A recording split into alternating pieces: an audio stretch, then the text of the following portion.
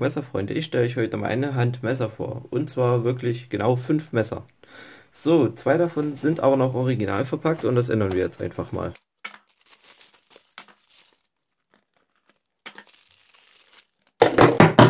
So, und das sind die fünf Stück, die ich euch vorstellen möchte. Wir fangen mit dem hier an. So, das hier ist ein klassisches Zweihandmesser mit Holzgriffschalen. So, ich werde das jetzt so machen. Ich werde die, die technischen Details zu dem Messer hier an der Seite einblenden. Hier. So, und das sind die Details dazu. Wir haben eine sehr schöne lange und ich glaube, ich hatte mich gerade geschnitten.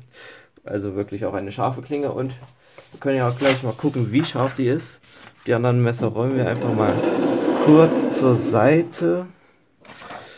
So, Ja, hier bin ich ein bisschen mit dem Dingens abgerutscht. Aber das... Okay, ja.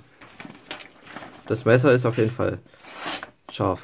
Ja, so sieht ein Blatt nach einem Messer aus. Das heißt, ich brauche wahrscheinlich fünf Blätter. Das ist halt eigentlich schon fast alles zu dem Messer. Wir haben hier noch eine Achsenschraube, dann noch zwei weitere Schrauben. Dann haben wir hier noch eine Öse für das Lanyard. Und hier haben wir noch einen Pocket Clip, der nochmal mit drei Schrauben festgehalten wird und der ist ziemlich fest. Die Griffschalen sind geriffelt worden, was für einen besseren Grip sorgen soll und hier habe ich irgendeinen Dreck dran. Nein, das ist das ist Tinte, okay, ja. Hier an der Seite ist noch ein Aufdruck. C. Jewel Herberts 420, das ist der Stahl. Und hier runter ist dann halt nochmal die Artikelnummer zu finden. Und das wäre eigentlich auch schon alles zu dem Messer. Ach ja, und wir haben hier übrigens einen Backlog. Der sorgt dafür, dass hier hinten die Klinge festgehalten wird und man sie dann so einklappen kann. Und das sieht dann so aus. Kommen wir einfach mal zum nächsten Messer. Das ist das hier. Ein Steampunk-Messer, weil es Zahnräder hat. Es wurde halt auch so genannt, Steampunk-Messer. Kann man bei Amazon nachschauen. Ich werde natürlich alle unten verlinken und natürlich halt auch überall die Stahl, Länge, Gewicht und das Ganze raussuchen. Das wird eine Menge Arbeit für ein einziges Video, was jetzt schon drei Minuten geht. So, aber wir haben hier granatisierte Griffschalen. Oder ist das nur lackiert? Das kann auch sein. Die Klinge finden wir hier in einem dunklen Stonewashed Look. Das Teil ist ein Zweihandmesser eigentlich, aber man kann es auch mit Mühe mit einer Hand öffnen.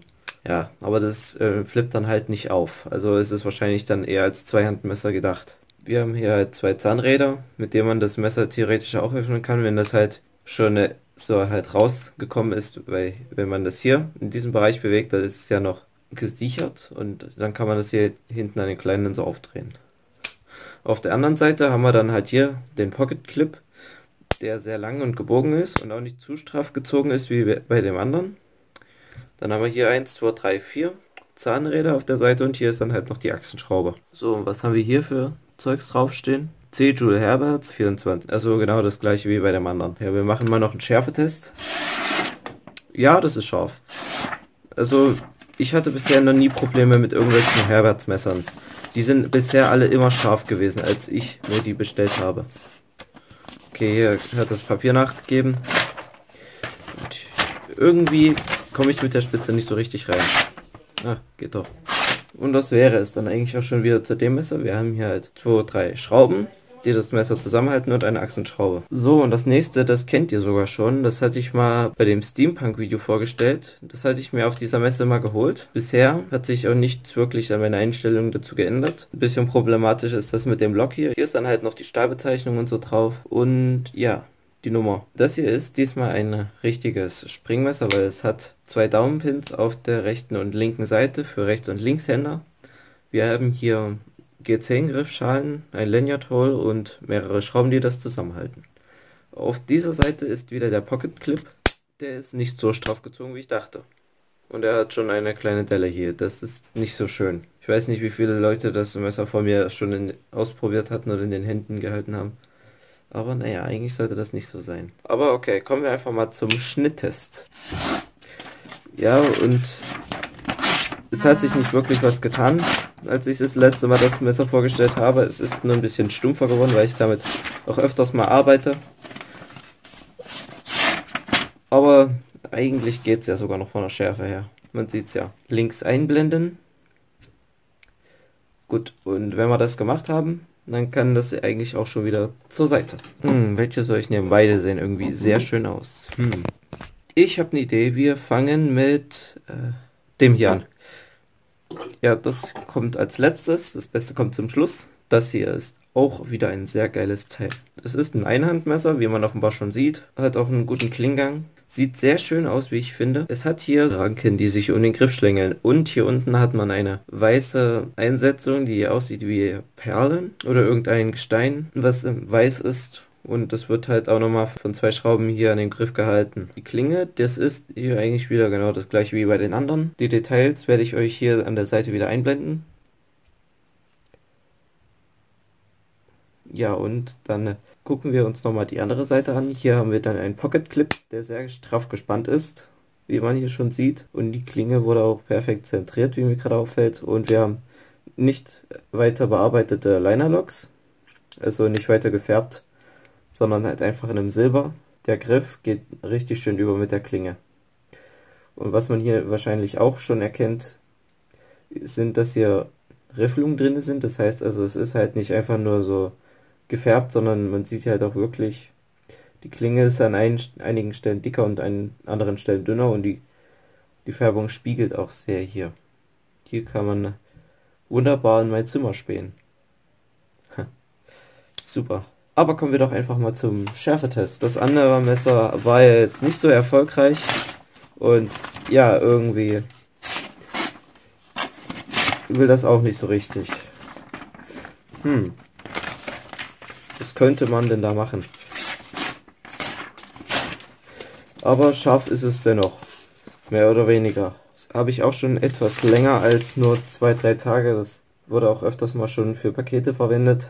Für große Pakete, wie zum Beispiel das BRS, das habe ich mit diesem Messer ausgepackt.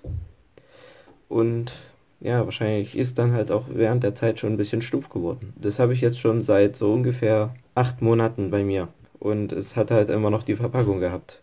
Oh Wunder, oh Wunder. So, kommen wir einfach mal zum letzten und für mich auch zum besten Messer, was ich hier von der Herberts rumliegen habe. Das ist dieses hier. So sieht es aus. Lässt sich geschmeidig mit einer Hand öffnen und wir haben hier einen sehr seltsamen Verschluss. So sieht das Ganze dann aus, wenn man es schließen will. Man muss hier hinten das Teil runterdrücken und dann lässt sich die Klinge damit einklappen. Aber das kann man auch aufklappen mit diesem Mechanismus. Und das sieht dann so aus. Oh, hat sogar beim ersten Mal schon geklappt. Juhu. Das hier wird wahrscheinlich wieder G10 sein. Hier haben wir wieder einen Stonewashed Look mit einer Klingenrinne, wie ich das gerne nenne. Der normale Ausdruck lautet Blutrinne, aber ich mag diesen Begriff nicht unbedingt. Hier unten sieht man dann auch nochmal die Federn und den Rest vom Mechanismus. Und das, das hier ist auch das erste Mal, dass ich bei so einem Messer Nieten vorgefunden habe. Und der Rest sind halt Schrauben, die sich auch schon wieder langsam abnützen. Wen haben wir denn hier? Geben Sie sich zu erkennen? Okay. Tja, das war gerade meine Katze, die aus dem Karton gekrabbelt ist. Gut. So, ich werde euch natürlich hier noch schnell die Maße an der Seite einblenden zu diesem Messer.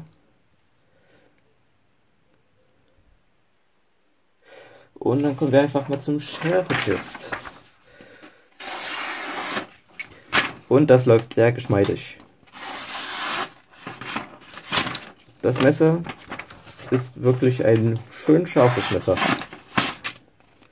Es hat zwar auch ein bisschen hier, aber es ist schärfer als so manch anderes, was ich jetzt gerade vorgestellt habe. Und die Katze taucht wieder ab. Nun ja, draußen wartet schon wieder eine andere Katze, ich muss mich also beeilen. Ach ja, und wir haben hier übrigens wieder einen Pocket Clip, der von der anderen Seite des Griffes losgeht, hier rüber und dann hier rein. So, und das wäre es eigentlich auch schon zu diesem Unboxing. Wir sind jetzt schon bei 15 Minuten, fast 16 Minuten, aber das muss ich dann alles runtercutten, wenn es klappt. Und ja, ich wünsche euch dann noch einen schönen Tag. Morgen ist Weihnachten. Und wir sehen uns dann morgen nochmal bei einem anderen Video, wo ich dann das Messer vorstelle, was ich schon auf meinem Instagram-Account schon angekündigt habe. Bis zum nächsten Mal. Tschüss.